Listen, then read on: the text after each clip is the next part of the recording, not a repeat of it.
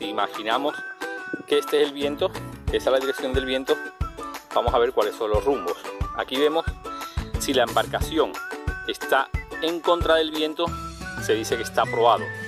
Si la embarcación está a 45 grados, esta sería del viento, estaría en ceñida, el rumbo es ceñida, ¿ok? 45 grados entre el viento y el rumbo tenemos 45 grados, ese sería el rumbo de ceñida, que puede ser tanto amurado a eh, como en este caso, o amurado a tribor, que es ese caso.